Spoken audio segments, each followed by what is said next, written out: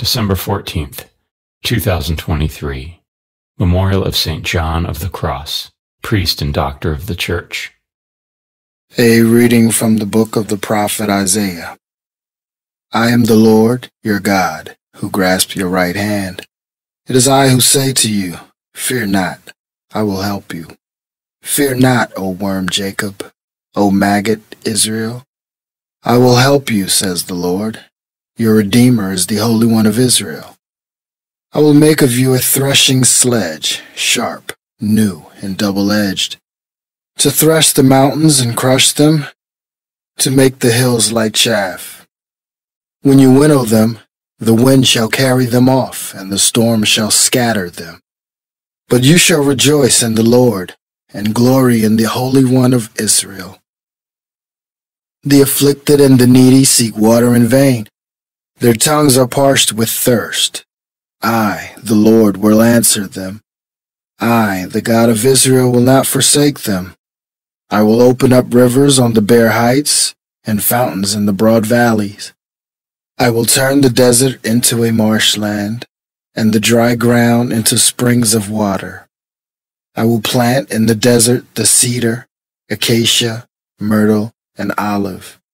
I will set in the wasteland the cypress, together with the plane tree and the pine, that all may see and know, observe and understand, that the hand of the Lord has done this. The Holy One of Israel has created it. The word of the Lord. The responsorial psalm.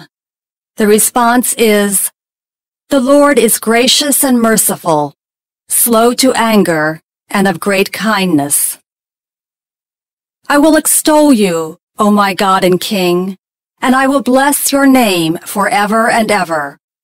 The Lord is good to all, and compassionate toward all his works. The Lord is gracious and merciful, slow to anger, and of great kindness. Let all your works give you thanks, O Lord, and let your faithful ones bless you. Let them discourse of the glory of your kingdom and speak of your might. The Lord is gracious and merciful, slow to anger, and of great kindness. Let them make known to men your might and the glorious splendor of your kingdom. Your kingdom is a kingdom for all ages, and your dominion endures through all generations. The Lord is gracious and merciful, slow to anger, and of great kindness. A reading from the Holy Gospel according to Matthew. Jesus said to the crowds, Amen I say to you, among those born of woman, there has been none greater than John the Baptist. Yet the least in the kingdom of heaven is greater than he. From the days of John the Baptist unto now, the kingdom of heaven suffers violence, and the violent are taking it by force.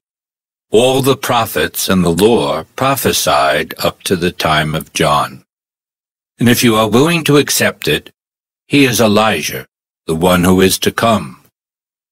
Whoever has ears ought to hear. The Gospel of the Lord.